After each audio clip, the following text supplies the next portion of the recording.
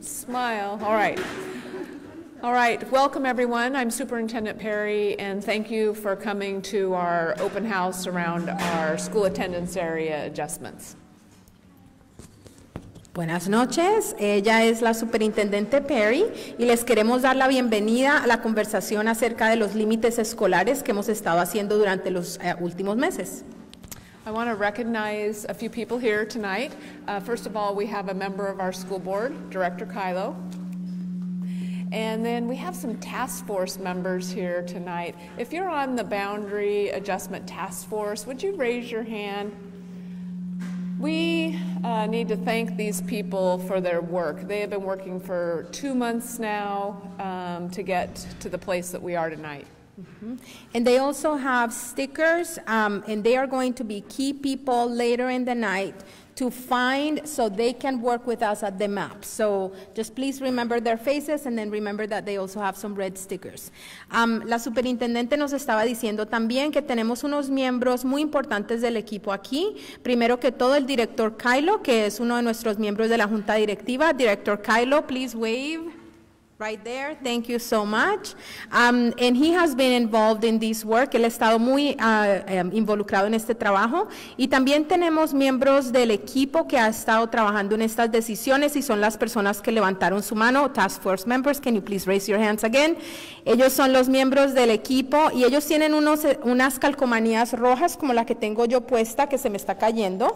Y um, ellos van a ser personas claves para que luego nos vayan a explicar los mapas en los que vamos a trabajar más tarde. All right, with that, I will introduce you to your two presenters tonight. We have Yadira, a member of our uh, task force, and then we also have Olga, who is a district uh, personnel. She's one of our elementary directors. And with that, I would like to just turn it over to them. Thank you. Um, la superintendente también quería presentar a los, las dos presentadoras de hoy y una de ellas es Yadira Juárez y Yadira es de la coalición Um, y uh, también es una miembro del, equipo de trabajo que hizo estas revisiones escolares.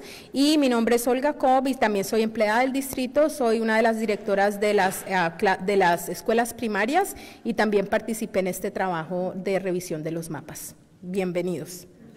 Thank you so much, Superintendent. Um, buenas noches. It's great to have all of you here. Um, today we have um, three key goals. Number one is tell you a little bit about the process that, that um, uh, people worked on to make these changes for the district. The second goal is to um, help you understand what changes are happening for our schools and how those changes impact you and your students.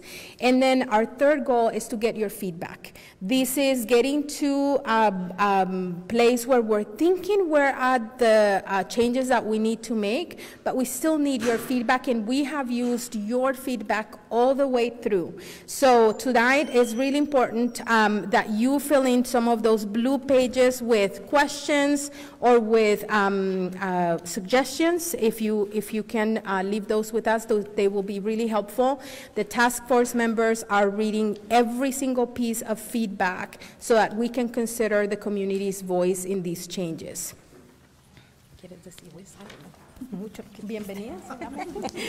Bienvenidos a todos. Estamos aquí por tres metas importantes y también tienen en sus manos un documento color azul en el cual nosotros les estamos pidiendo que por favor lo llenen con sus preguntas que tengan, con sugerencias para poder hacer este trabajo y tenga un éxito. Gracias. También les queremos uh, explicar el documento que tienen en sus manos. Y este documento en la primera página so let me say that in English first. And I'm going to need your help to remind me. Go back and forth or just English, Olga. Um, the document that you guys have in front of you is, or that I hope you all have in your hands, um, is a document that is going to guide us through some of these changes. The first one is just a visual of all the schools that go to a specific feeder area. So um, the bottom uh, little houses there are the elementary schools that go into the bigger houses that are the middle schools that go into the big high school, the green um, house in, um, at the top. Um, we have all feeder systems in here represented in this page, but we want you to know that tonight we're going to focus on North and McKay, and those are the maps we're going to review at the end of the evening. Eh, But we also brought the other areas, so we have South and Sprague um, and Keizer, so you can also see, just for your information, if you want to spend a little bit of time at the end of the night doing that. Lo que vamos a estar haciendo esta noche en su paquete, tienen un paquete donde la primera página que están mirando hay unos triángulos, en esos triángulos están representando las casitas, dentro de los triángulos hay unas casitas pequeñas, color azules, esas casitas son la- las representaciones de las escuelas primarias de aquí del, ah, de Salem Kaiser y después tenemos las otras casas medianas que vienen en color como azulito, verdecito bajo. Esas están representando las escuelas secundarias de aquí del distrito. Y la casa más grande que está hasta arriba, esa es la que está representando las escuelas preparatorias. Y hoy esta noche nos vamos a estar enfocando solamente en la escuela preparatoria, la McKay y la Norte y la del norte, solamente. Tenemos mapas también donde para ustedes eh, puedan observarlos, son las otras escuelas pri- preparatorias que traemos, como la de Spray, la de South y... um, Navy y Kaiser, todas las escuelas preparatorias están de ese lado solamente para que ustedes vayan y observen, pero las dos primeras nos vamos a estar enfocando esta noche. Let's go to the back page, and in there you can see a chart with um, elementary, middle, and high school. And all of our schools are there, so you can find Four Corners, Miller, Marier, Chavez, all the schools that we'll be talking about today. And you'll know which middle school they will go to, which high school they will go to. If there was a change, it will say boundary change, yes or no. And if we change the feeder system, what that means is, did your child before go to maybe North, and now with this change, they'll be going to South High School? Um, I want to point out some big changes. Um, uh, for schools like Battle Creek, I'll just give you an example. Battle Creek is a school out south. They had a split where their students had to go to two different middle schools. And through this work, we were trying to remove some of those splits, and so that school will only go to one middle school and then one high school. So those are the types of changes that you will be able to see in the second page. ¿Quieres que diga eso en español? ¿Sí? ¿Segura? Ok. So, la segunda página es um, una página en la que ustedes ven unos cuadros en los que están representados las escuelas primarias, las escuelas de intermedio y las escuelas de prepa en donde los niños van a ir.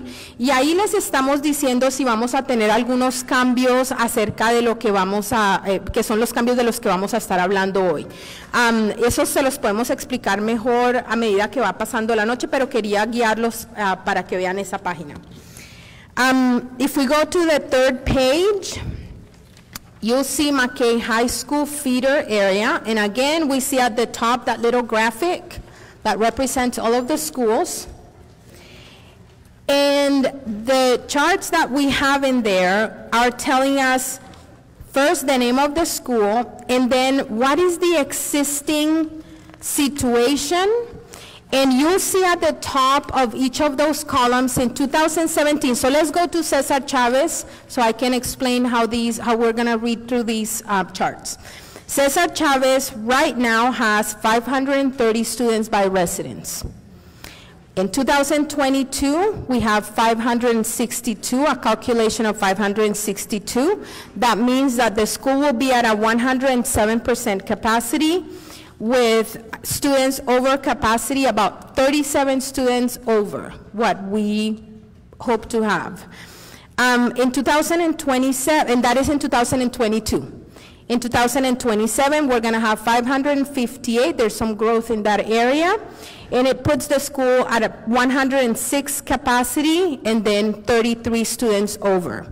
So the, the, what we found is we had to make some changes to open up some space and have students be in classrooms that were supportive of their learning.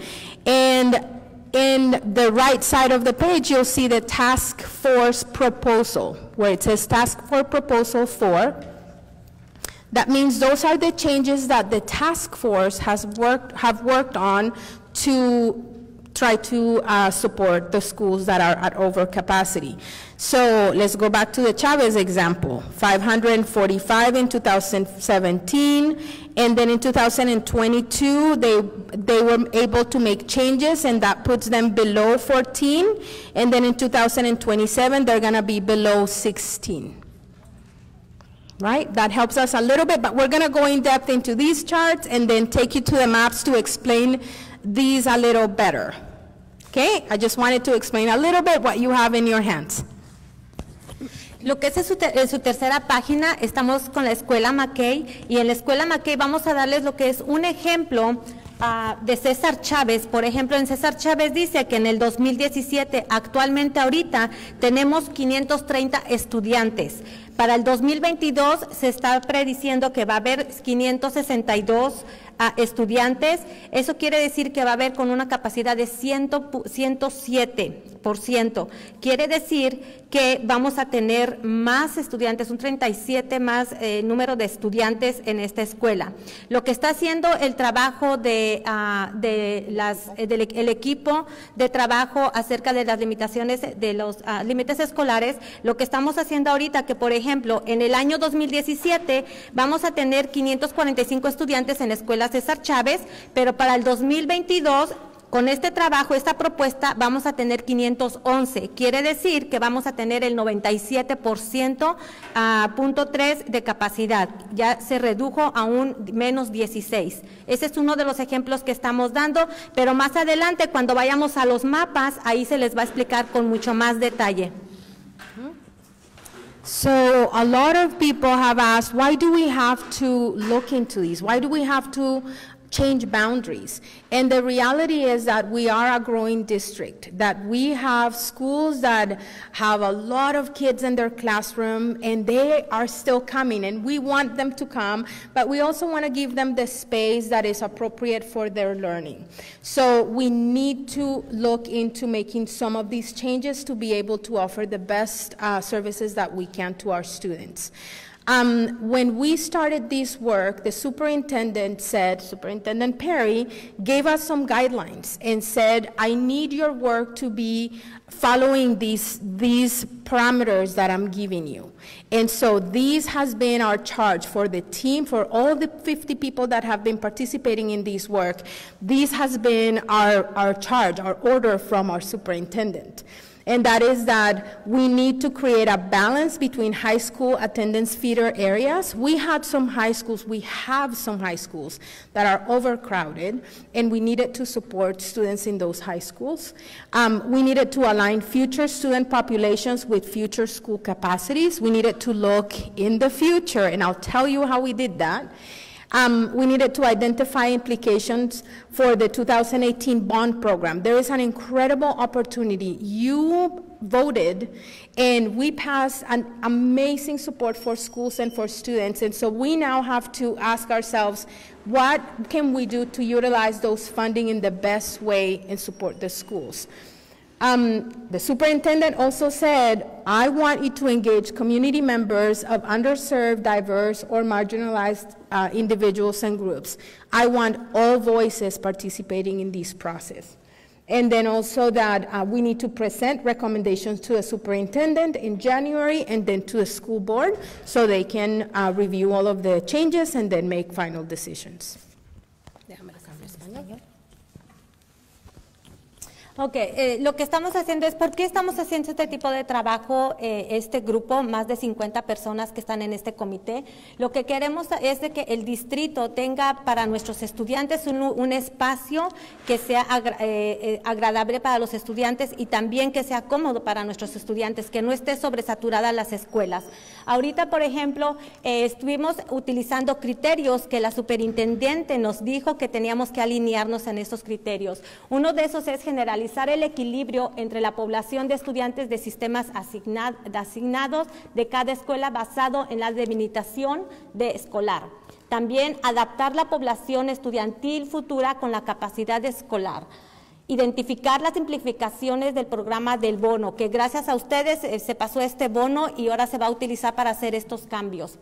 También eh, necesitamos fomentar inte- intencionalmente la participación de los miembros. Quiere decir que también hay miembros de la comunidad que son partes de este comité, personal, ah, y también son eh, diversos este eh, grupo de, ah, del bono, del, ah, este, este comité que tenemos de límites escolares.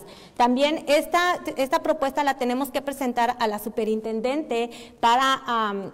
para la mesa directiva. Se tiene que hacer esta propuesta para la mesa directiva y tenemos la fecha que va a ser para enero. Entonces, y también las decisiones no las vamos a tomar nosotros, sino ya se van a tomar en la mesa directiva cuando se lleven la propuesta de trabajo que está haciendo los límites. Okay, so again, let's talk about some of those uh, guiding principles uh, that we took in consideration in doing this work. We needed to allow adequate, uh, allow adequate room for required programs and anticipated growth within each school capacity and throughout the district. We needed to ensure access to equitable educational opportunities. We need to give each student exactly what they need. Um, we need to ensure safety to and from school. We wanted to um, continue protecting neighborhood schools. We want kids to walk to school if, as much as possible. Um, provide continuity in school assignments for students, families, and schools. Ensure affected or impacted community members were involved in the process and represent ethnic and socioeconomic diversity. And then we considered the impact to established neighborhoods. So um, I wanted to tell you about some of these numbers and where they came from. There's uh, Rachel, Rachel, right here. And Rachel belongs to a team um, of a company called FLO Analytics, and they have this incredible connection with um, a, a lot of data resources that were able to tell us where there was going to be construction in five years, or what was the census indicating about growth of kids in Northeast Salem. And so the team will tell you that we were able to zoom in literally in their computer through their system and figure out how many kids are in this area, in this specific neighborhood in 2017, and how many kids do they project with the best uh, resources they have right now and the best technology they have right now available to them, how many kids are going to be in that same area in 2022. So um, the district really did a, a, a great job recruiting an- a team of experts that could help us do this work. También queremos dejarles saber de dónde están saliendo todos estos números. Todos estos números vienen de, personas profesionales que se llama Flo, es una, ah, son, es esta ah, Raquel o Rachel. Ah, ella es la que se encarga con toda la base de datos. Ella tiene todos estos números basado a los estudios. Ella puede hacer, pre- eh, pueden hacer predicciones, como por ejemplo en el mapa las- nos acercamos más a una área y ella nos puede decir cuántos estudiantes están viviendo en esa área. También con esos números, ellos nos pueden decir las predicciones que hay para el 2022 o en el 2000 más para adelante, nos van a decir cuántos estudiantes más van a vivir en esa área. Entonces, es de ahí donde nosotros sacamos eso, eh, nos- nosotros, ellos sacan esos números para las predicciones. Muchas gracias por todo el trabajo que hacen junto con el distrito escolar. También tenemos eh, criterios en los que se están trabajando, es facilitar el espacio adecuado para los programas que lo requieren, así como para la matrícula futura en cada escuela como en todo el distrito. Garantizar el acceso a oportunidades educativas equitativas. Garantizar la seguridad hacia y desde la escuela. Proporcionar continuidad en las asignaciones escolares para los estudiantes, familias y escuelas. Garantizar que el cambio apoye la diversidad étnica y socioeconómica. Considerar el impacto a los vecindarios establecidos. We also did all this work with an equi- equity foc- focus.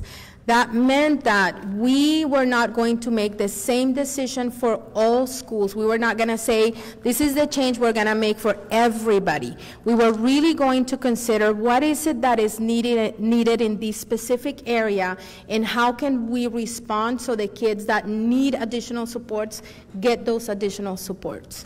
So um, through that, we said we're going to intentionally ask ourselves throughout the work of the task force whether we are making decisions in the best interest of students that are underserved or diverse or marginalized and their families.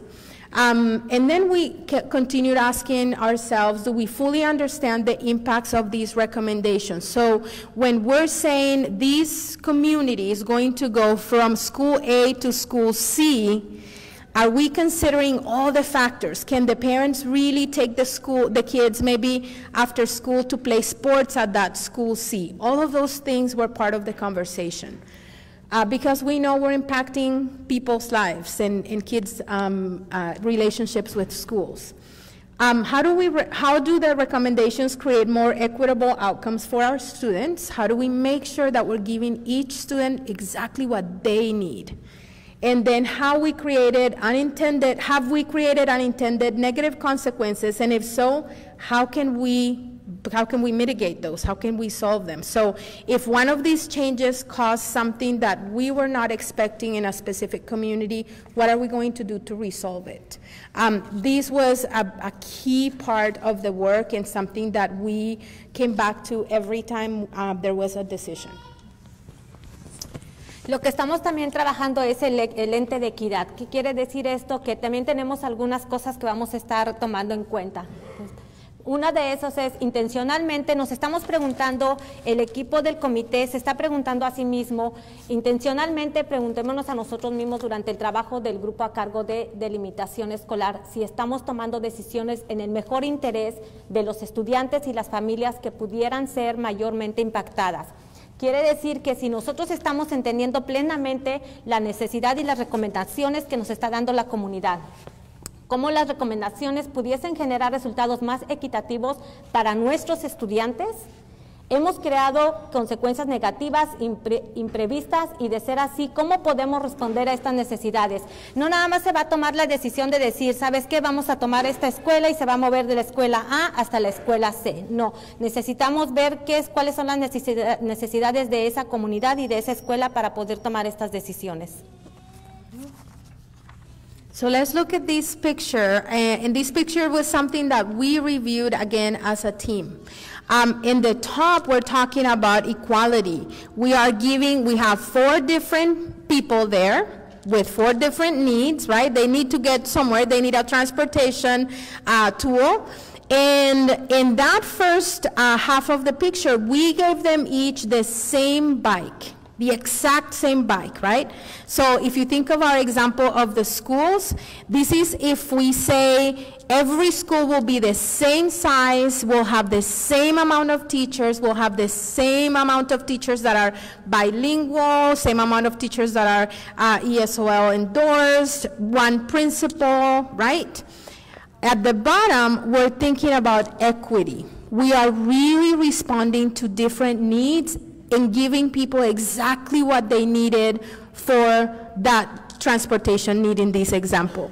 So the, the little guy got a bike that was more his size, and the lady got a bike that was the same that we, were, we wanted to give from the beginning. This uh, dad or this man that is pretty tall, we gave him a bike that was tall enough for him.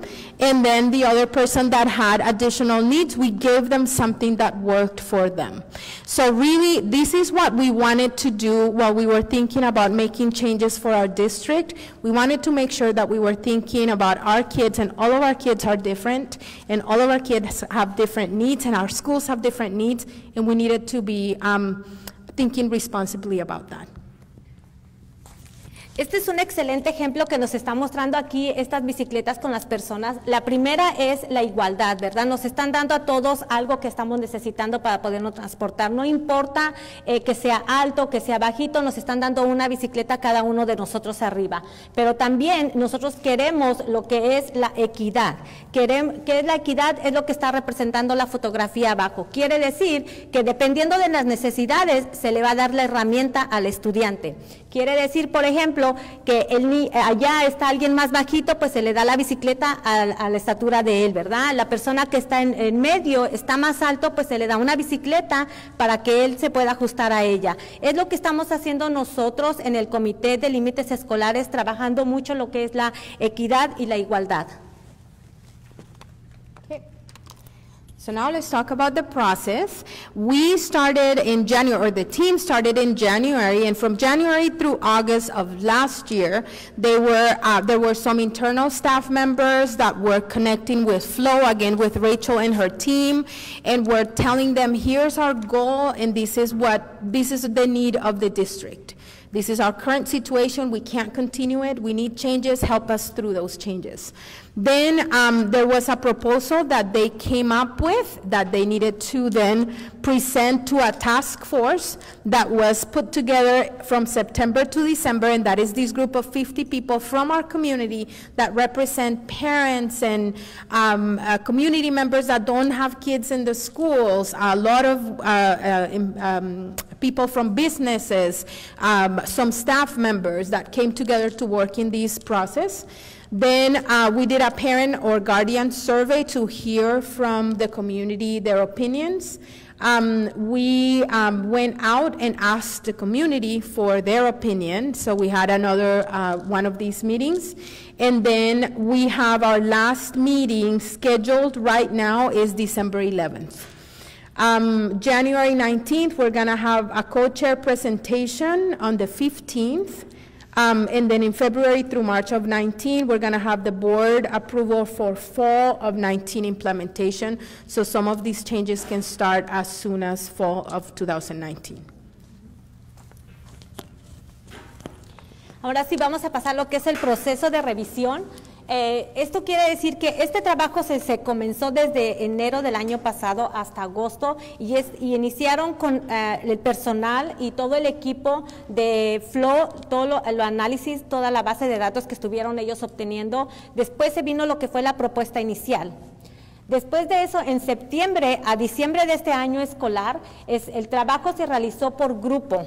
Se hizo lo que es el Comité de Límites Escolares, más de 50 personas están participando, entre esos están representantes de la comunidad, hay padres de familia, también tenemos personal del distrito escolar que está participando en este comité. El 11 de diciembre vamos a tener lo que es la otra junta eh, con el comité para hacer, eh, para continuar con el trabajo. En enero del 2019 ya se tiene que presentar a los copresidentes eh, lo que es ya la última propuesta, la finalizada, lo que ya el, comité estuvo trabajando se va a proponer y eso va a ser para el 15 de enero. Finalmente, de febrero a marzo, ya tiene que aprobarlo la mesa directiva, todos los miembros de la mesa directiva van a aprobar este trabajo y quiere decir que se va a empezar a implementar lo más pronto posible, que sería este año escolar 2018-2019.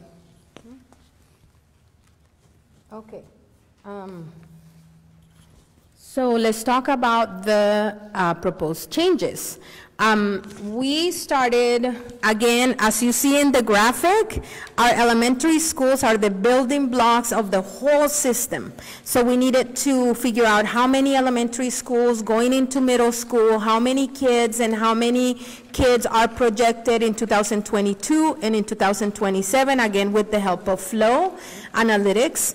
And, and through that, we made some changes that we're going to see in the maps and that you can also see in your papers. Then we'll go into the. Ahora sí vamos a ir lo que es a los mapas. Eh, vamos a estar viendo lo que son las escuelas primarias como los elementos fundamentales. Esas van a ser una de las bases en las cuales nosotros estamos trabajando. En su, en su primera página van a ver todas las casitas azules, esas son las escuelas elementales. Después se va a ver lo que es el impacto en las escuelas y en el sistema de asignación de la escuela basado en la delimitación escolar. Y por último vamos a tener lo que son los materiales y los recursos. Okay, so I don't, I'm not gonna go over these charts, but this is the same information that you have in front of you. And I want to encourage you, when we are working at the maps, please ask task force members for help in um, uh, understanding the, the, the information that you have in your hands. We also have some district staff members, we have principals, we have um, um, people from, faci- from facilities that understand what is happening, and so please also uh, you'll find some of your principals here. I see uh, el director Decker, la directora Valencia, and other principals, Mrs. Cochrane and Mrs. Mata, and then another director, Mrs. Litchfield. Can you guys wave any staff members, Salem Keizer staff members? They will be sense makers also um, of the information. Oh, and then Lillian, our director of communication, is here too, and she can also be a sense maker. maker. Fueron muchos nombres, no me los memoricé, pero ah, lo que vamos a hacer es, en su paquete está esta tabla que acaba de mostrar ahorita Olga, no la vamos a revisar detalladamente ahorita, eh, porque son muchos números los que están, pero lo que vamos a hacer es de que hay personas que tenemos la calcomanía, ya se me cayó, que tenemos la calcomanía que somos representantes del Comité de Límites Escolares, por favor hagan las preguntas, hagan, den sugerencias, vamos a estar caminando. También no nada más nosotros estamos, eh, hay personal del distrito escolar, tenemos a los directores, tenemos también personal de las oficinas principales del distrito escolar. Ah, vamos a estar caminando, hagan preguntas por favor y sugerencias, dudas que tengan, ahorita es el buen momento. Okay, so let me briefly tell you about the maps. The maps we have in, and, and again, I'm not pretending for you to understand them or, or be able to see them here, but because we're gonna go see them closely at the wall. But um, you'll see in the maps an area that is shaded or with a line across. In that area, you'll have a label that says that area went from Cesar Chavez to Auburn Elementary, right? Again, it looks like a big area, but when we looked in and when we zoomed in, these are maybe 15 students. And there are other areas that are really, really small, but when we zoomed in, if it's an apartment complex, it could be 200 students. So I want you guys to consider that, and we will answer those questions as we look through the areas. And I'm kind of making these up because I don't really know what the streets are in here, but that is, that is just an example to help us understand. Um, we did look at the projection, we did look at the students that are already in that area, and then the projection of 22 and 27. Um, again, we have these labels that tell you where students moved, so from Mary Air to Miller, then from Air to Miller, but also we needed to relieve Miller. So there were some moves that happened um, to Miller, and something I have to tell you too. When you look at the chart right now, you'll see that Miller has an overcapacity number, right? So that is something that needs to go to the review committee, and that needs to go also to the bond team because it means that we need to do something for Miller so that they can have space and enough classrooms to be able to build the school up. So all of those conversations that happen in these boundary task force will impact conversations that are happening at the boundary, I'm sorry, at the bond uh, task force, right? If we're gonna have more kids in one school, we need to build up that school and provide more classrooms. ¿Quieres que lo diga en español? Ok. Um, entonces, la última cosa que les queríamos decir antes de que los invitemos a mirar los mapas es que este es un ejemplo de los mapas que les tenemos para mostrar. Um, estos mapas les pueden indicar los cambios que hemos hecho. Por ejemplo, este cuadrito pequeño que está aquí dice de Merrier se fueron para Miller. De allí los otros niños se fueron de Merrier para Miller también. Y en este momento la escuela Miller, si ustedes miran, la escuela Miller en el, en el 2027 va a estar por encima de capacidad, más o menos 130 niños por encima. Entonces, eso lo tenemos que solucionar. Y lo que significa es que esto tiene que volver otra vez al comité Y el comité también tiene que comunicarse directamente con la persona, con las personas que están haciendo el trabajo del bono escolar para poder construir más salones en la escuela Miller y poder responder a esa necesidad. Um, okay, so now that you see all the pieces that we have, I want to ask you, do you have any questions about the process, any questions for the whole group? And then we will also continue answering questions at the maps that are more specific to the uh, schools or the areas, but are there any questions for the whole group? ¿Hay alguna pregunta para todo el grupo que podamos contestar? Y después vamos a contestar más preguntas en las áreas, pero quería um, ver si hay algunas preguntas. Yes. wondering about uh, the numbers. They're based on residency. Was, has there been any discussion about students that move for bilingual programs or those sorts of things? That, whether that affects the numbers the way they are and Yes, thank you. That's a great question. And yes, um, part of the work that FLO has done is they are able to tell us how many students are receiving uh, language services in this area, and when we make changes, how many students are going to be going to the other area. Um, and we were trying to always maintain the same level of service or if we were going to increase it, not increase it by much, and if we're going to increase it, we need to respond to that need. So that was something that was considered also poverty levels of schools. Um, we also were looking into um, not changing schools dramatically um, in that. Um, eh, let, me translate it real quick. La señora estaba preguntando si consideramos programas como los programas bilingües, como los programas de Ah, y, y también la, el nivel de pobreza de las escuelas, y sí los consideramos. De hecho, el equipo de Flow puede hacer ese cálculo y nos decía cuántos niños en tal escuela podrían recibir servicios y luego cuántos podíamos mover sin mover muchísimo los porcentajes de una escuela a otra.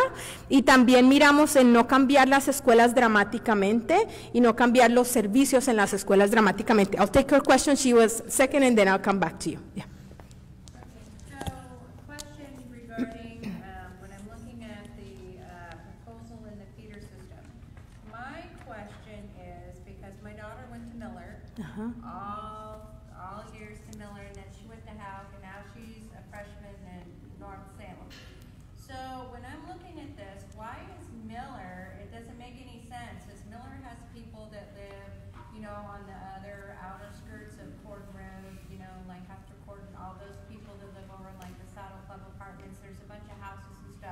Okay. across Highway twenty-two. Okay. So why are all those kids, it would make sense to send them to South and my daughter in the one school to South, rather than you have now, you have going to South Salem High, according to this. Uh-huh. You have now, you have Four Corners and Iyer as well, they're all here. Why not take those two schools and leave them where they were? Mm-hmm, and then mm-hmm. go to Howe, and mm-hmm. not make, because it doesn't make any sense that you've got all these other kids across Highway twenty-two and all that. Uh-huh. They could just as easily take those kids in that one area, it's a lot easier to take that central area and just take them and bus them to South rather than mixing, you've got, because you've got kids that, like my daughter could have went to Miller, I mean, uh, Iyer.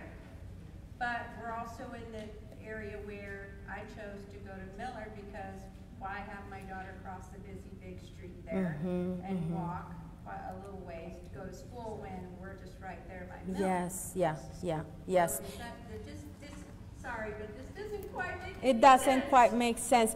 I know that there was a lot of consideration um, to those big roads, and I can't tell you exactly the Saddleback apartments, and I wish I knew more information, but we can go to the maps and I can try to figure out uh, exactly what your concern is. Um, but I know there was a moment when Miller was going to south and Miller was going to north, and through many, many changes, this is where the, um, the team came back to. And again, trying to balance services, programs, uh, size of the school, possibility of building up a school. There are some schools that have no room to grow. And there are schools that have a little bit of room where we can build up more classrooms, and uh, so I think that all went into, into uh, that. Um, But again, I want to encourage you, please to ask the question, and then let's spend some time in the map so I can understand the, the street and then see if I participated in that. And I know Rachel here from FLO can also help us understand some of those. Yeah. we just remember, these are all proposals, so we love your feedback. So thank you for asking those questions, because we're, this is not by any means a set in stone thing. Yes, thank you for saying that. And, and about feedback, let me tell you, we had a meeting on November 11th, I want to say, and um, through that feedback, we heard we needed to do focus groups in schools, which were done, and then we needed to hear more feedback from the communi- community, and that is happening. So, so that is really important to the team. Ah, la señora estaba preguntando, ella está en un área en donde hay unos apartamentos y no tiene mucho sentido que están cruzando una avenida muy grande. Entonces le estaba explicando que se tomaron muchísimas de esas cosas en consideración para que los niños no cruzaran áreas grandes. También consideramos escuelas que no se podían construir más porque están en un vecindario muy pequeñito y otras que tienen un poquito de área para poder construir clases. Así que hay muchísimas cosas que se consideraron y cambios que se consideraron e hicieron muchas veces. Y una de las señoras del Task Force, Erin, nos estaba diciendo que por favor recuerden que podemos hacer muchos cambios, que podemos hacer algunos cambios todavía, que esto no está finalizado y que necesitamos que ustedes nos den sus opiniones. Okay, and I have a question here. Consideration, my daughter now t- attends North, and she takes a ten-minute bus ride. Yeah. Sending her to South, she's gonna be on the bus for twenty or more minutes with mm-hmm. ADHD and autism at the end of the day, and that's gonna throw her into chaos. Very hard. Yes, yes. And I don't understand how mm-hmm. that, that is a better option. Yeah. To send her to South where it's gonna, we are starting all over again, and Yeah. I just don't see how that is gonna be beneficial mm-hmm. to, to kids. when Mm-hmm, Yeah. They've already made roots and friends Yeah. as freshmen at North. Yeah. And now you're gonna say, nope, all that's gone, and now you have to go to South. Yes, yes. So I hear your frustration, and I know that these change will impact us personally, right? Every family will, will have some impact. Something that I, that I want to tell you too is that we know that we can't just uproot kids from classrooms and from schools and say, okay, starting September, you go here. So we are, we have a plan in place to make sure that your daughter can stay at the school where she has those connections. So you can apply for that uh, in-district transfer to be able to support her to stay there. It's closed. It closed No. Oh, yes, yes, so, yeah, it's, it, it will be open in March. It will be open in March. We will have a process in place to make sure that, Continuity plans for those high school students. yes, we will have continuity plans for all the high school, for all the kids in every school so that you can be grandfathered in for the changes and they can stay in the schools where they are and where they feel connected to. Yeah, ah, ah, eh.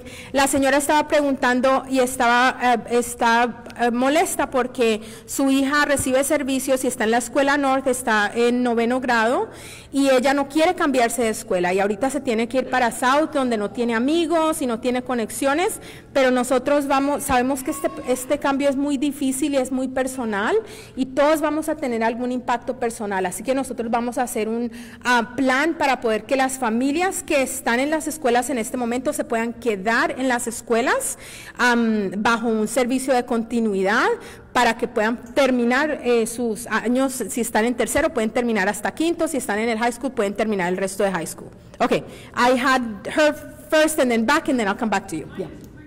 Yeah. problem is, with what she's saying, and I agree, is if we do an in-district transfer, then we have no transportation. Yeah, we have to drive them.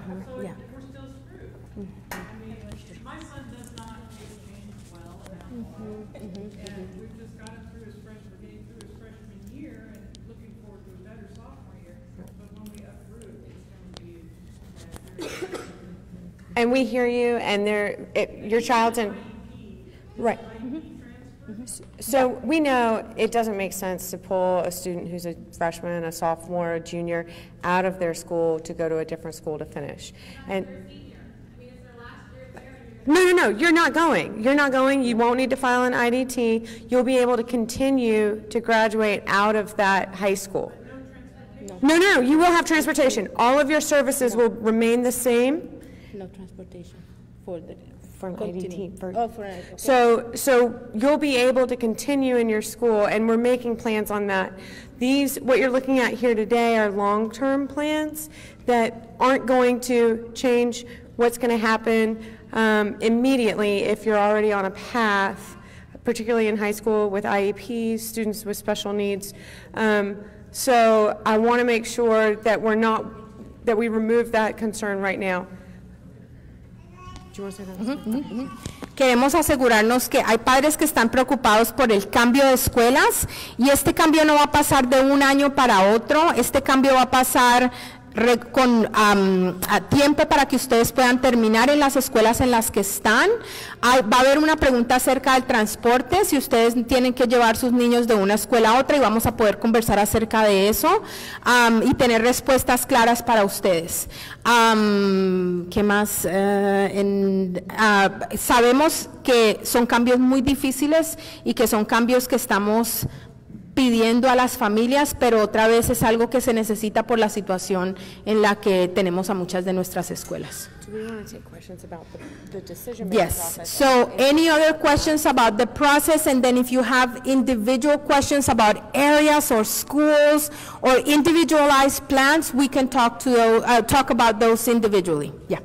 Um, I thought when you were showing that, it was saying that it was supposed to be starting the changes in September, so what Uh-huh. what I understood. Yes. And then my other question is, I have also, uh, my child was IEP, and I know he's barely in middle school, but like you said, the changes are not gonna be for this following year. Uh-huh. So is he gonna be able to stay in the school that he Mhm. belongs? And my other question is, um, you were talking about the proposal. This is just the proposal, but how are you guys gonna, uh, get for the final? Is Mhm. it just uh, gonna be the community, or are we gonna vote, or is just the board of the school that is gonna vote? Is the, the school board, yeah. Um, so, let's, uh, well, the questions. So, uh, the changes are going to start being in effect in September of 2019. That means that if a family wants to go to the new school, they can go to that new school, and that school will be their school. It also means that we are not going to ask you to make that change in September if you don't want to make that change in September. If your students have friends and it doesn't make sense, or if they're a senior, it doesn't make sense to have them end their last year at a school, you know, uh, a a few streets away or whatever it is. So we know that, and there's going to be a continuity exception where you can say, uh, you made this change for me, but I want my son to stay at this school. And so they will stay at that school. Um, uh, not for the continuity, except uh, their paperwork that they have to fill out for that. We'll have to work through the process. Mm Mhm, Yeah, so we'll have guidance on the, on all the families that are making those changes, and then we'll tell you exactly what you need to do, but we have your names.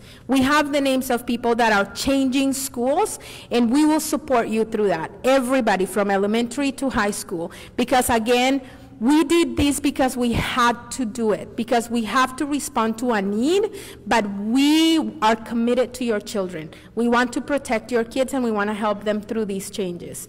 Um, la señora, eh, algo que les queríamos decir es que va a haber un proceso para los cambios. Si sus estudiantes están en el último año de, de la preparatoria, no les vamos a cambiar, a, a pedir que cambien. En septiembre del 2019 es cuando van a empezar estos cambios.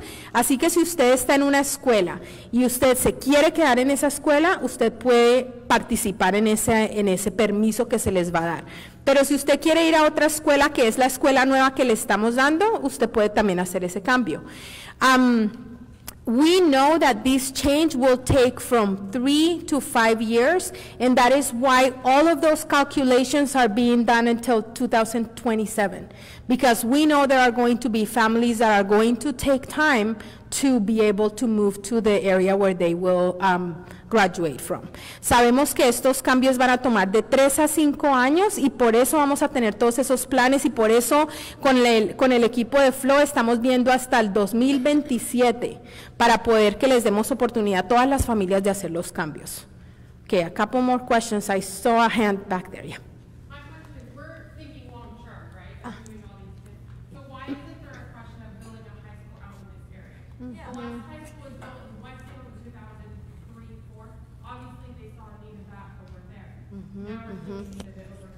Yes, so that's a bond question, so Lillian, help me out with a bond question.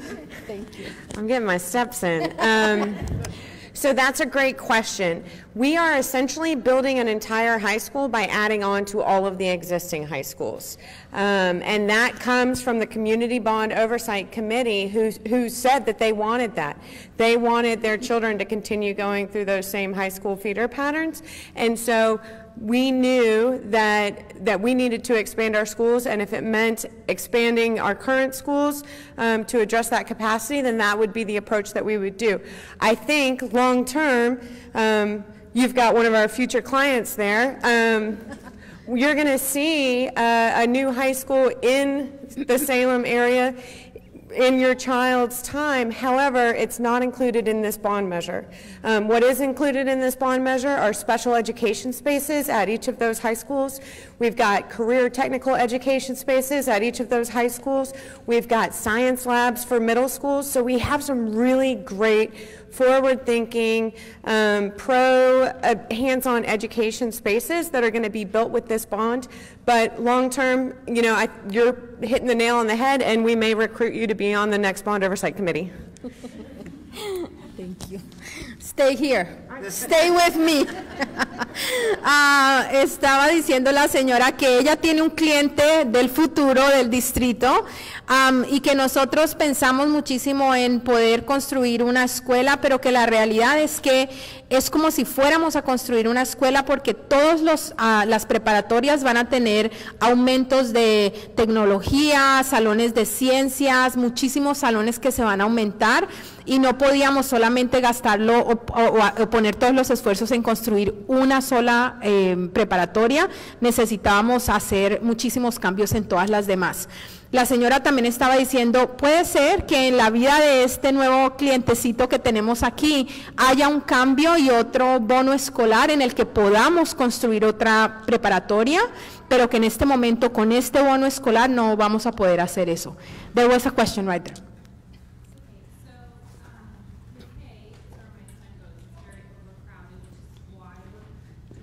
So,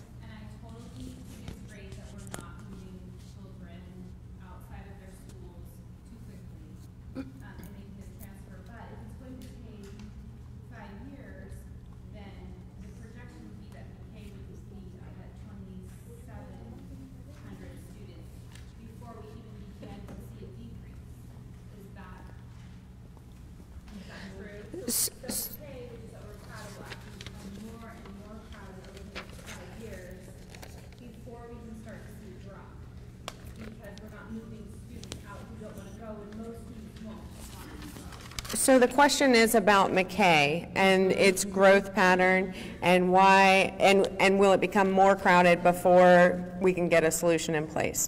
Um, McKay is a, a, does anyone know how many students McKay was built for?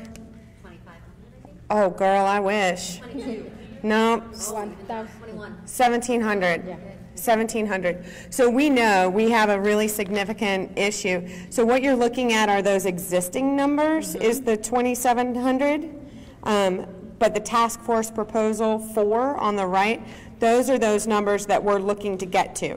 So with this proposal, in 2022, McKay would actually be 112 students under capacity with the additions that we're building at the school. But that's assuming students don't want, that all the students who are set to move out actually move out. So So, and I would imagine that most students would want to leave school.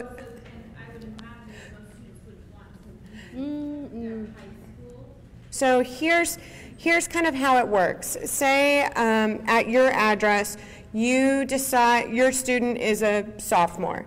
You decide um, that you're going to move to a different address, still in the McKay feeder system. Your child's going to go to McKay, but that address, if it's on one of those places that's being moved out, the next occupants would become the McKay uh, attendees. So it's not going, these things are really complicated, and we know that it's not just you, you're taking out an entire chunk of population and relocating it. It is an attrition-based um, plan, and Rach- Rachel's over there nodding her head, yes. She is our consultant who is doing all the population planning. And um, we love to call her on nights and weekends with questions just like these. So I would encourage you to go and talk to her. She's very friendly. Um, and she will help answer all of those questions for you. And then something else that I wanted to mention is there are a lot of families that do want to um, move to the other high school because they know this is a long term. And so we have heard both. We have heard people that say, I want to stay, and we have heard people that say, I want to finish where they're going to um, uh, finish and where my other kids are going to come, so I'm going to make this change right in September of 2019. And Superintendent Perry, did you want to add something to that?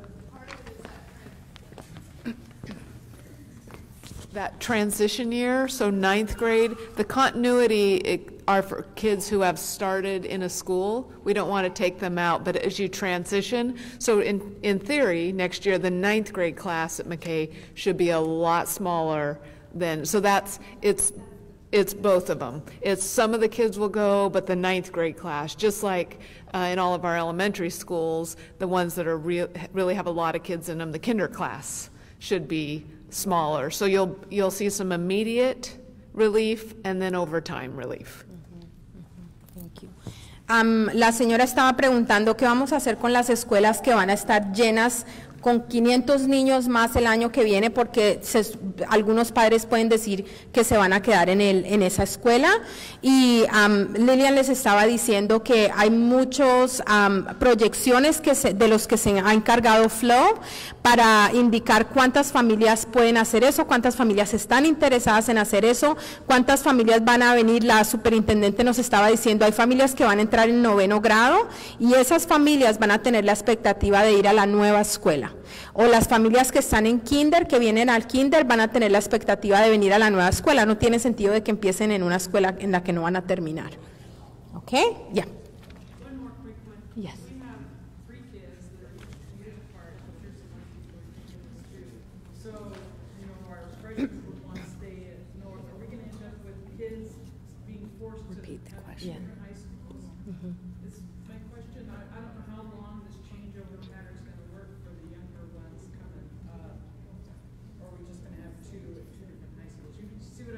Yes, yes. So your question, let me, let me say it again, see if I got it. You have three kids, two years apart, that go to different schools, and through these changes, you're gonna have kids going to, possibly, possibly to different areas, to two different feeder areas, right?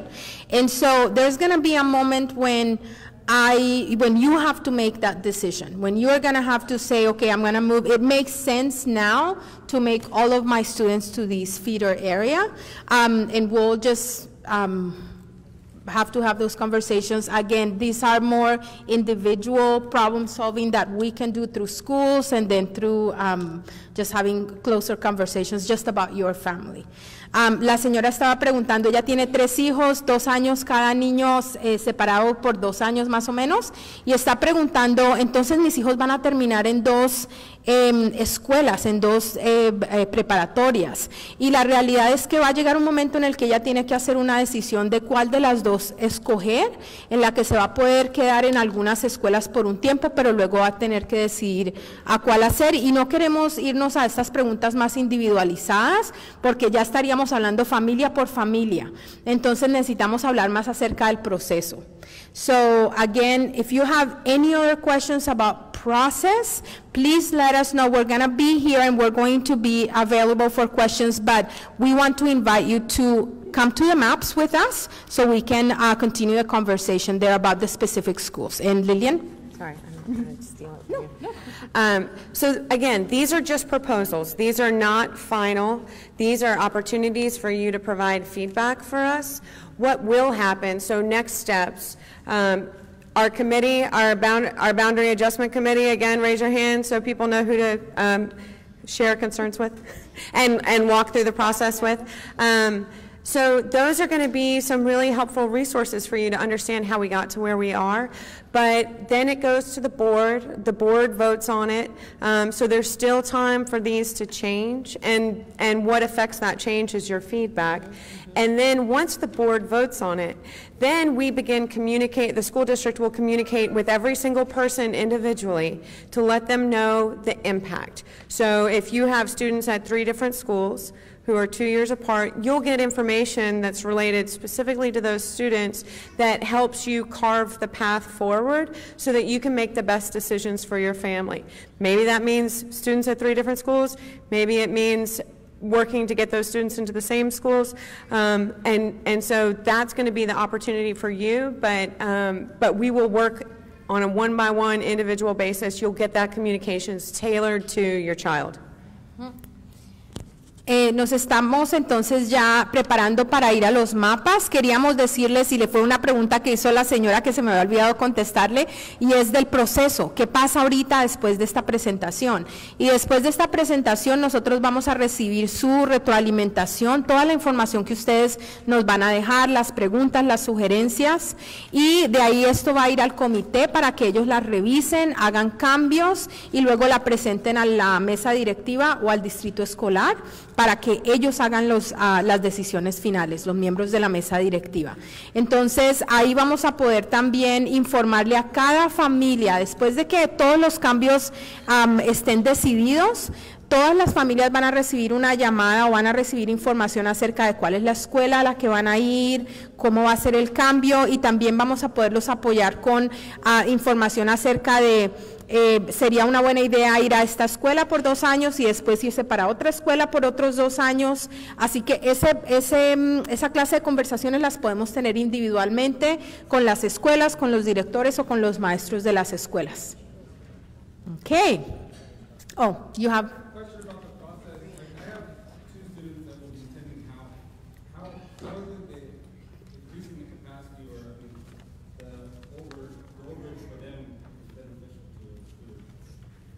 increasing the cap Like how it says that, you know, they're over, the percentage of capacity is at hundred and five percent. Projected, you know, you know, at hundred and fifty. Okay, let me find how the task force changing.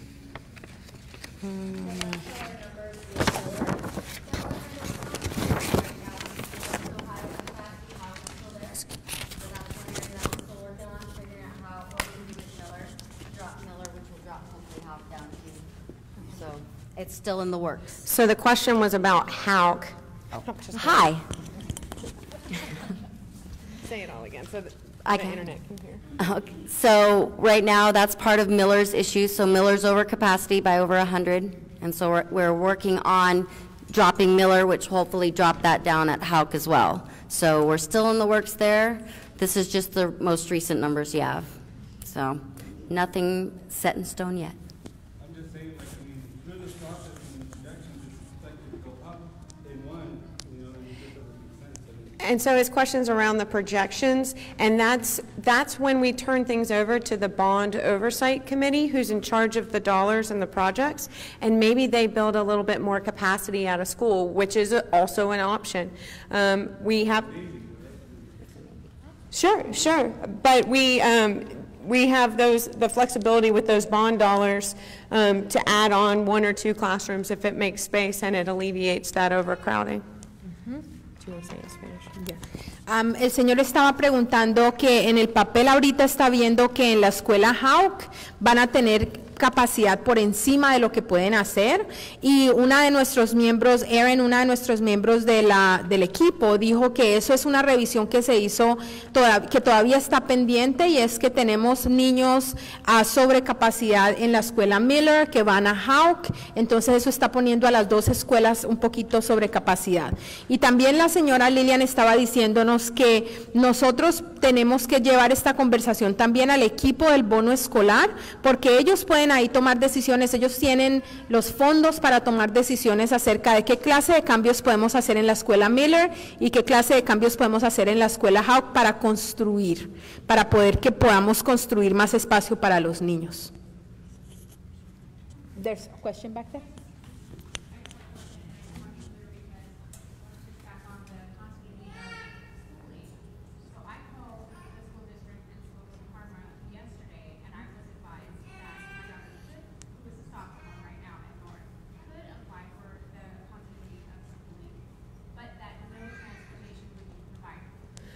So the question is around transportation and continuity.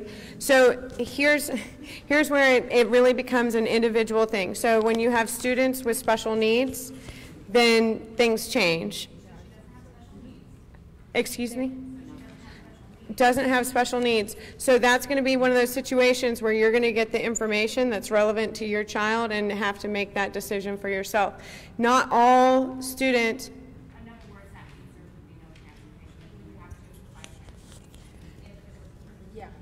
That's correct. That is a possibility. So that doesn't make sense, because he has a senior that he can stay there, but he doesn't have a way to get home from school because, uh, we're not doing there, and it, it would be like an intermittent transfer, and so he won't have any way to get home. But you're telling me that as senior, he can finish his senior year, then that doesn't make any sense. Because he doesn't have a way home, he has to ride the bus. Right. And so, again, we're getting to a point of finality where the purpose for tonight is to look at these and make sure that they make the right sense. Um, and so there, there are going to be questions that are individual to each family that need to be addressed, and, and we will continue to work on that along the way. But it, I don't want to speak with any finality tonight about people's individual children and what it does or does not mean for them. La señora estaba preguntando atrás que ella había llamado a la escuela, al distrito, y le habían dicho que si ella cambiaba a su hija de una escuela a otra, ella tenía que proveer el transporte. Y la realidad es que sí vamos a tener que hacer eso, los padres van a tener que proveer el transporte, pero hay muchas cosas que todavía no se han finalizado y todavía no sabemos si esto va a ser la última decisión y cuáles son los apoyos que se van a poder proveer. Entonces, ahorita no podemos hablar de cambios individuales, de que si mi hijo puede recibir bus en tal escuela o tal otra, porque nosotros no tenemos la decisión final todavía.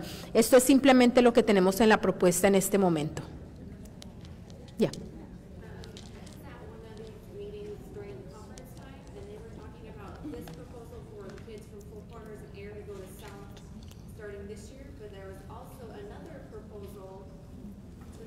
Was wondering if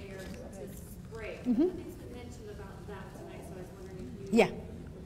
Yes, so she was asking, uh, she came to a meeting at conferences or during conference time, and there was a proposal about sending students from Four Corners and Miller, and Air, sorry, to Sprague High School instead of South. And so, yes, that was part of a, a, a, a, um, conversation that was happening at the task force. Again, that is a great example of community conversation and community feedback because what we heard is parents don't want to have their kids go so far um, away from their neighborhood. And um, we want parents to be able to access after school sports, after school activities. And a lot of families don't have transportation. So we didn't want to, the task force didn't want to um, uh, continue with that conversation. And so that quickly went to South.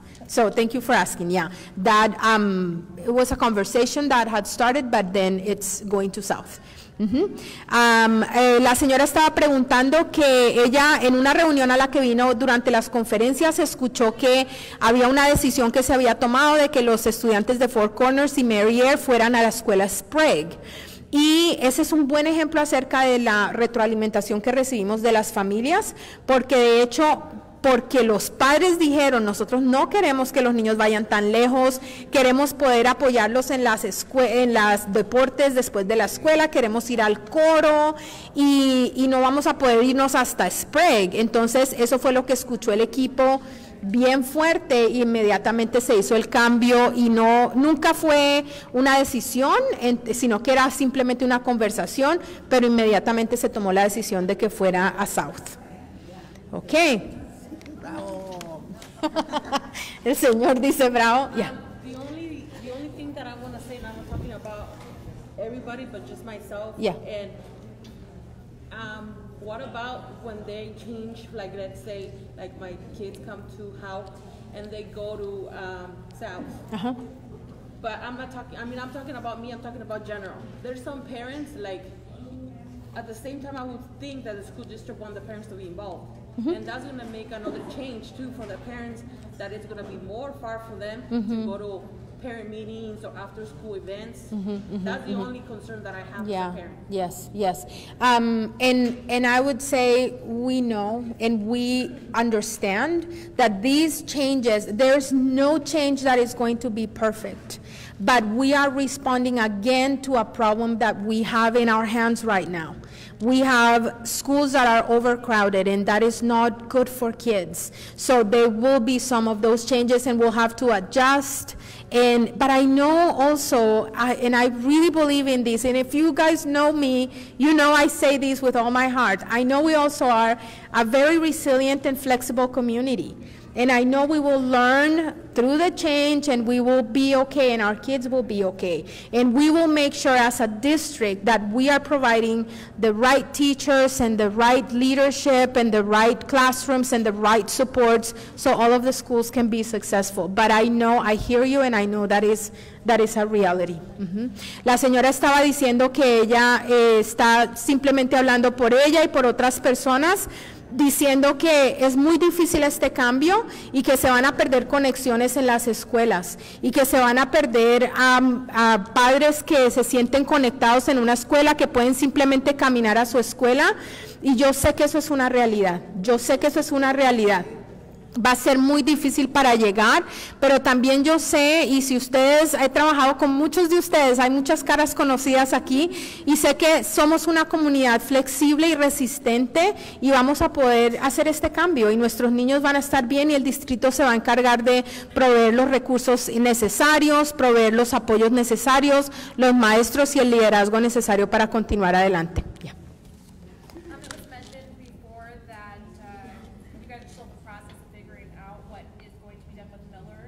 Going on?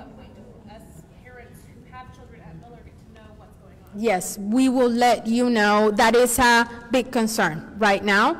We see, and you see in this chart that we have 135 kids over at Miller in this. co- At what point do we get to know though, is it before or after it's already set in stone? Um, I think by December 11th or around that time of this month, we're hoping to have an update for Miller. Mhm, But we know that it's an area that the task force is still working on. Mhm.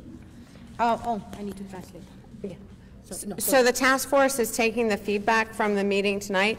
They're meeting next week, and they're going to review all of this data to inform the decision-making process, and then that will be communicated out to you. Um, The board does not vote on, on this until January. So once the task force, uh, or the board doesn't get it until January, so once the task force completes their work, they'll hand it over to the board, and then, is Paul Kyllo still here? There's Paul Kyllo. So you can email him your input or any other board director, your feedback on the proposal, because ultimately they'll have the final say. But we'll be, once the, the committee's done, we'll give that information to the parents so that you can be empowered and be part of this decision-making process and know all of your avenues for communication. Mm-hmm. Okay, then we're good. Everyone. Everyone that is affected, everyone that has a child that is affected by a change will get information about it.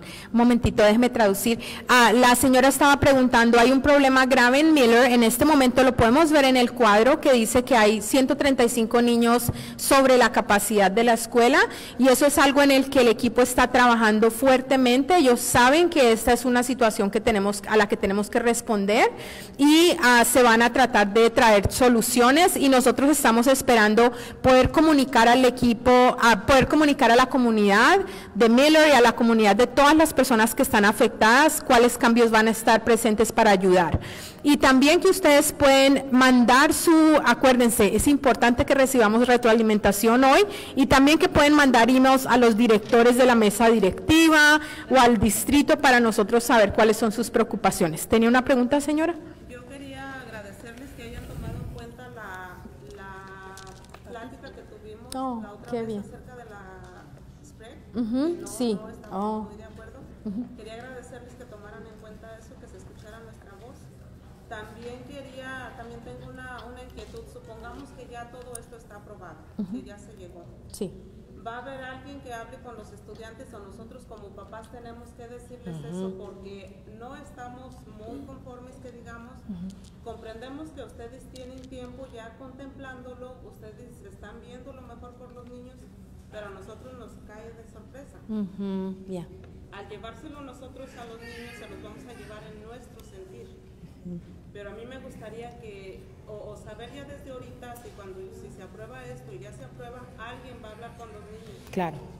Los chiquitos lo ven de una forma, pero los que ya están más grandecitos lo van a ver de, De otra, otra. forma. Y, y quisiera que alguien se los dijera en palabras que ellos puedan entender. Claro que sí. Ok, muchas gracias por esa sugerencia. Si la puede escribir, déjeme la traduzco y también le doy oportunidad a la señora de comunicaciones que nos responda. Um, she was saying she wanted to do say two things. One is she wanted to thank the uh, task force for the um, um, open process that they had where they invited parents. She was part of the group that came here and said, please don't send my student to Sprague. I want to stay in the community. I want to come closer. I know, I understand there is a need. I understand there needs to be a change. And so she feels that her voice was uh, heard and her voice was respected. And she uh, just wanted to say thank you to the, to the task force. Um, and she also is asking for support. And so this is, uh, I told her I would tell Lillian, and Lillian is going to help us with that because that's a really good point. She's saying, can the district help us communicate with our kids? So it's not just us as parents, so teachers and principals and communication department can help kids understand we have a change and there's a reason for this change and we are going to support you through this change. So that's a really good, um, we will have those conversations with our students, um, but thank you for um, sharing that that is very, very important to you. Sí, señora.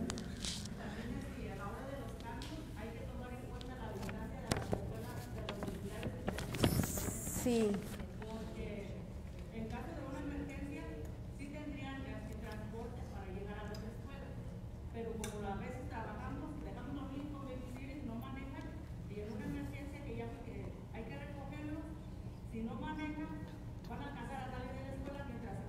Claro. Sí, sí, señora. Las distancias están, la señora estaba diciendo, ustedes han considerado las distancias porque dejamos los niños con la señora que lo cuida y la señora no maneja. Todo eso se ha considerado y otra vez las decisiones, muchas van a ser muy difíciles, pero, pero todo eso se ha considerado. So she was saying, have you considered, or she wants to make sure that we hear again loud and clear that we need to consider the distance, that we have families that leave kids with a child care provider that may not be a driver um, and or may not have a car, and then maybe the child gets sick at school and that provider has to go pick them up. So, um, and yes, we have considered one of the things that uh, was again key, one of those principles that the superintendent gave us was we needed to try to conserve neighborhood schools. So that is something that was taken in consideration, yes. Okay. Oh, sí, señora.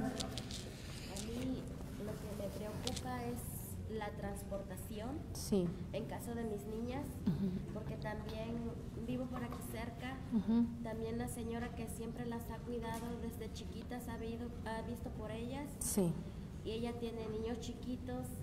Este, sí maneja, podría tal vez irlos a dejar, pero le es difícil a ella también. Montar todos los niños al carro. También porque los dos trabajamos Yeah. y ellas ya están acostumbradas a ella. O sea, ellas quieren mucho a la muchacha. Am, para mí sí es difícil en la transportación, en dado caso que se hiciera el cambio. Sí. Es difícil porque lo que he estado escuchando tal vez no haya transportación y tendremos que llevarlos. Ya. Llevaría. También nos costaría un extra a nosotros en cuestión económicamente. Claro. En mi caso, ellas, las dos me padecen de asma, entonces a ellas sí les beneficia la transportación porque no es lo mismo estar un ratito esperando el por decir, a lo mejor caminar o cosas así, o tal vez yo pienso que a muchos les pasa lo mismo. Sí. Y ella también está cerca, donde yo vivo y cerca de la escuela, también nos Dios. beneficia en este caso nosotros. Si ellas llegaran a cambiarse, también para ellas sería muy difícil porque al menos la más grandecita me dijo que ella no se cambia de No aquí, se quiere ir. ir. Ella ya Ya. todas Claro que sí, ok. quiero ir. Sí, sí. quiero estar. Ujú, La más chiquita, pues, Todavía se cambia. Ya, ya, ya. yo no. Yeah. Entonces, So, ella um. So, um, sabemos que hay todos esos cambios y todo eso se está teniendo en consideración, el transporte, qué tan lejos son las escuelas. So she just wanted to um, uh, say again uh, that it's hard when you have childcare and when your kids are used to that childcare provider and they can't drive and they um, and they can't take the, the kids and they have little ones and they have to put little ones in the car also if they drive. So um, there will be, again, we are considering distance and we want to maintain neighborhood schools, but there are going to be situations where that is not going to be possible, and so we'll respond to those individual needs. So I feel like we're going to more individualized questions.